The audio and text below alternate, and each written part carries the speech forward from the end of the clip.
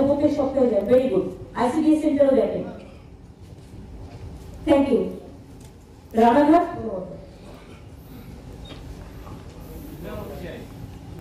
সবাই যান আপনারা? আইসিডিএস সেন্টার বিদ্যামিল সেন্টার সবটাই। দেখে নেন একটু তো। পাবলিক যদি কোনো গ্রিভেন্সেস জানায় আপনাদের কাছে, চেষ্টা করেন তো ওদের কথা শুনবার জন্য। মাঝে মাঝে আমি আমার আইসিদের এবং বিডিওদের এসডিও, এডিএম বা জিএম যেই থাকতাম সবাইকেই বলব।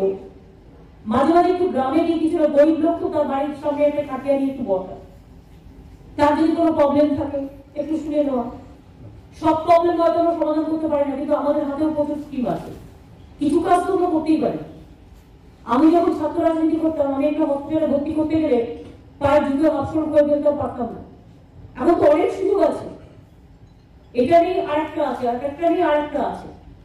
যদি এখনও আমাদের খবরে দর্পণ চ্যানেলটি সাবস্ক্রাইব না করে থাকেন, তাহলে এখনই সাবস্ক্রাইব করুন, সঙ্গে বেল বাটনটি ক্লিক করুন, আর পেয়ে যান সব খবরের দ্রুত ভিডিও আপডেট।